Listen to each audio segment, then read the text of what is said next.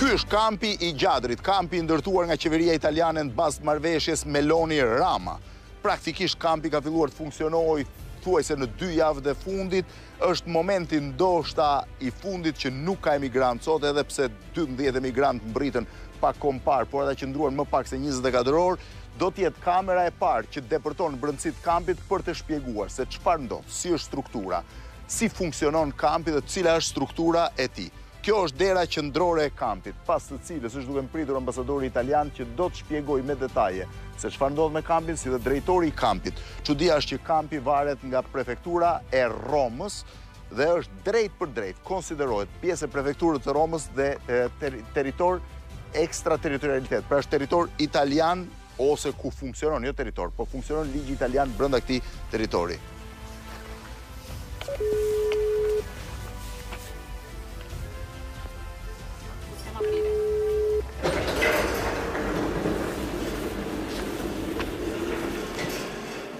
Mirëdita ambasador. Përshëndetje Blendi. Si jeni, gjithçka mirë? Mirë, shumë mirë. Mirë se erdhët. Mirëdita të gjithëve. Ja tek jam. Pra këtu jemi tek hyrja. Kjo është hyrja e kampit. Jemi tek hyrja. Sa i madh është kampi? Kampi ka gjithsej një sipërfaqe prej shtatëdhjetë mijë metra katrorë. Shtatëdhjetë mijë metra katrorë. Dhe për sa muaj u ndërtua? E ndërtuam në thuajse tre muaj, tre muaj e gjysëm. Për tre muaj e gjysëm, shtatëdhjetë mijë. Shtatëdhjetë mijë. Metra katrorë. Dhe është bërë një punë prej tre, katër muajsh, për konsolidimin e terrenit. Përse? Apo sepse këtu ka qenë një lagunë, ishte disi. Po, sepse është një terren nga pikëpamja gjeologjike, i shkrifët.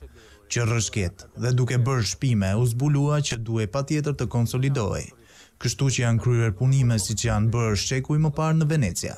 Janë ngulur shtylla. Domethënë punime për? Për konsolidimin e terrenit. Për lagështirën. Për të krijuar bazën janë ngulur në tokë shtatë mijë shtylla betonarme. Shtatë mijë? Të thellë pesëmbëdhjetë metra dhe me gjerësi prej shtatëdhjetë, tetëdhjetë centimetra.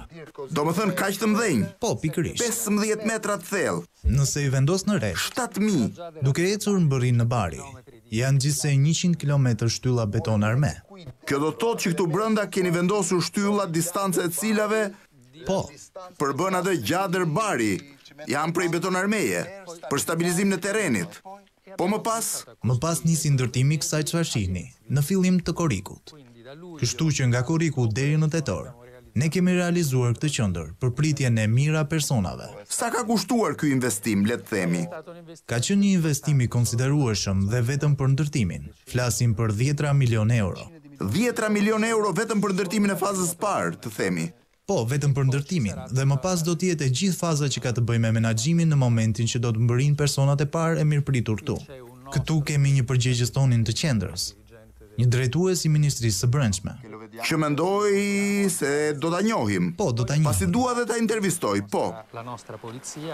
Këtu gjithashtu kemi policinë tonë. Këtu përreth janë policët tanë, karabinierët, si dhe funksionarë të ndryshëm të Ministrisë së Brendshme. Pra, këtu ne kemi plot katër ministri. Është një bashkëpunim midis katër ministrive. Atëherë është Ministria e Brendshme, Ministria e Drejtësisë, Ministria e Mbrojtjes, si dhe Ministrinë e Shëndetësisë, sepse brenda qendrës kemi dhe një spital të vogël. Spital? Po, një spital. Jo një qendër shëndetësore. Një spital i vogël që duhet të garantojë natyrisht që të gjithë emigrantët që mbërrijnë të jenë nga pikëpamja mjekësore të trajtuar.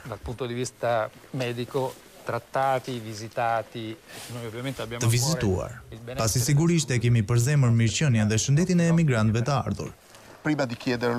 Para se t'ju pyes se si është organizuar qendra, si funksionon dhe ambientet e saj, Ti faccio la domanda un po' più Po ju bëj një pyetje disi, cili është përfitimi i Shqipërisë në këtë rast dhe sidomos i zonës këtu, nga ky kamp? Sigurisht që ky është një kamp që do të ketë një kohëzgjatje në bazë të protokollit të marrëveshjes, pra pesë vjet. Pesë vjet! Por që mund të shtyhet më tej. Këtë do ta vendosin qeveritë, në përfundim të protokollit të marrëveshjes. Sigurisht kjo është një qendër që përfshihet në këtë zonë.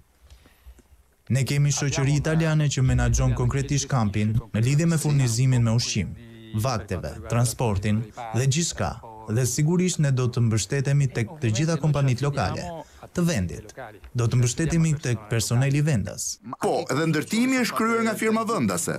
Ndërtimet janë kryer nga një firmë vendase. Nga një firmë vendase? Po, nga një firmë vendase. Po pjesa më e madhe e materialit janë blerë këtu? Janë blerë këtu. Janë blerë këtu. Vetëm disa pjesë kanë ardhur nga Italia. Sigurisht, duke paguar dhe doganën dhe gjithçka tjetër. Patjetër që po. Ashtu? Dhe mendoni që në tre-katër muaj, për ta kuptuar se sa e rëndësishme ka qenë puna e zhvilluar gjatë verës, midis muajit korrik dhe shtator nga Italia, nëpërmjet doganës së Durrësit, kemi zhdoganuar shtatëqind trejlerë. Shtatëqind! Shtatëqind trailer me materiale. Shtatëqind trailer me materiale, të zhdoganuara në Shqipëri. Pra duke paguar doganën kanë ardhur këtu me përjashtim të materialeve që keni blerë këtu në Shqipëri. Ishte një firmë shqiptare thatë që ka punuar? Ishte një firmë shqiptare. Me punëtorë vendas mbi të gjitha. Me punëtorë vendas, me mbikëqyrjen e Genios të ushtrisë italiane. Ah, Genio Italiane! Janë oficerë, që do t'i njohim më pas, që janë inxhinierë ushtarakë. Janë ushtarakët tanë që ndërtojnë struktura jashtë. Duke qëndruar tek ky diskutim, para se të shkojë më tej, sigurisht kjo qendër do të funksionojë për pesë vjet. Po, sa italianë do të jenë këtu? E kam fjalën që do të marrin shtëpi me qira, njerëz që do të punojnë, trajtimi ekonomik i tyre. Janë disa qindra. Me qindra, Po, me qindra, sepse i gjithë personeli që do të menaxhojë kampin, pra policia, karabinierët, funksionarët drejtues të administratës. Avokatët që do të vijnë. Avokatë, gjykatës, mjekë, infermierë, personel që do të menaxhojë burgun e vogël.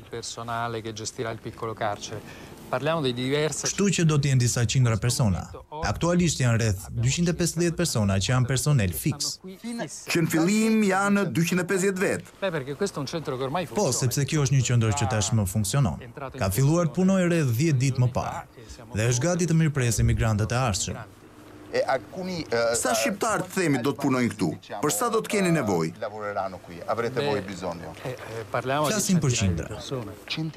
Me qindra, dhe që do të jenë vendas? Do të jenë mbi të gjitha vendas të zonës. sepse e gjithë përgatitja e vakteve, flasim për mijëra vakte ushqimi çdo ditë, dhe këto do të kryhen nga firma vendase, që do të përgatisin vaktet. Për shembull, edhe për sa i përket pastrimit të qendrës, transportit, ndërmjetësit, përkthyesit, do të jenë personel vendas. Që do të thotë se kjo zonë këtu do të marrë një zhvillim që nuk e priste. Do të ketë zhvillim të madh sepse flasim për një periudhë pesëvjeçare dhe me dhjetëra miliona euro të shpenzuara nga Italia, pa marrë pastaj parasysh të gjitha aktivitetet e ndërlidhura, sepse këtu, për shembull, një firmë nga Lezha prodhon vakte ushqimore. Vaktet? Pikërisht. Është një firmë vendase? Është një firmë vendase. Nga Lezha? Sigurisht, firma nga Lezha duhet të blejë mishin, peshkun, frutat, perimet. Sigurisht, patjetër që po. Dhe i blen këtu. Pra është firmë vendase, dhe të gjithë furnitorët të firmës vendase. Pra vihet në lëvizje. Po, do të jetë një lloj zinxhiri. Po, një zinxhir shumë i gjerë, që do të përfshijë të gjithë zonën. Po njerëzit që do të punojnë këtu, a do të paguhen mirë? Po, do të kenë rroga të mira. Dhe kjo është shumë e rëndësishme, t'i kthehemi sërish kampit tani sepse kjo është e sigurt për njerëzit e zonës. Pashë xhenierët tuaj që punonin këtu me vendasit, edhe për shtëpitë e tyre apo gjëra të vogla. Sigurisht, i ndihmojmë, sepse natyrisht këtu kemi shumë fqinj. Po. Shumë banorë të Lezhës apo të zonës së Gjadrit, dhe për ne, është e rëndësishme të kemi edhe marrëdhënie të mira fqinjësie dhe u kemi dhënë një dorë këto muaj. Kush kishte nevojë për shembull për të gërmuar një pus, kush kishte nevojë për një ndihmë të vogël, ne iu jemi ofruar, pa u kursyer. Është shumë interesante, sepse kur kam ardhur këtu, në nëntor më duket, në fillim të nëntorit, thuajse një vit më parë, Njerëzit përreth bazës së Gjadrit ishin disi të frikësuar nga ajo që po ndodhte. Ndërsa tani i kam pyetur dhe janë më se të kënaqur nga përfitimet ekonomike që do të kenë mbi të gjitha. Këtu është bërë një punë e jashtëzakonshme, sepse këtu kemi gërmuar dy puse për furnizim me ujë, kështu që. Dy puse, të thellë? Po, uji që përdoret këtu, është ai që marrim nga nëntoka, pra nuk është nga jashtë. Jo nga furnizimi nga jashtë. Pikërisht. Kemi realizuar një lidhje të re të energjisë elektrike, pasi kjo është një qendër që konsumon shumë energji, kështu që kemi bërë një investim të konsiderueshëm prej miliona eurosh. për të furnizuar rrjetin elektrik. Kemi realizuar sistemin e ujërave dhe kanalizimeve, duke zbatuar sigurisht legjislacionin italian. Ne nuk mund të ndërtojmë asgjë nëse nuk është sipas rregullave të Bashkimit Evropian. Pra çdo ndërtim i bërë është sipas standardeve të BE-së? Absolutisht po. Patjetër. Njëqind për qind. Ne ndërtojmë në bazë të legjislacionit italian, që sigurisht është në përputhje me legjislacionin e Bashkimit Evropian. Kështu që gjithçka është bërë sipas standardeve evropiane. Pra ujërat e zeza. Çdo lloj uji, shkarkohet dhe kryhet depurimi. Nuk ka asnjë centimetër kub ujë që të mos jetë filtruar dhe depuruar para se të shkarkohet. Po si është e mundur të ndërtohet gjithë ky kamp në vetëm tre muaj? Ia dolëm mbanë. Kjo është e gjithë pjesa e caktuar për sistemimin e personelit që do të menaxhojë kampin. Pra kjo do të jetë për personelin, domethënë. Jemi akoma jashtë. Për personelin italian mbështetës. Po, pikërisht. Që do të thotë që akoma nuk kemi hyrë në kamp. Akoma jo. Ja, atje është pjesa që do të mirëpresë emigrantët.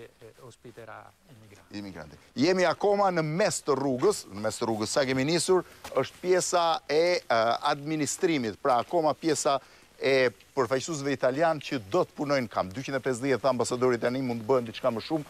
Pra këto janë dhomat ku do qëndrojnë ata. Nuk kemi mbërritur akoma në rrethimin e kampit.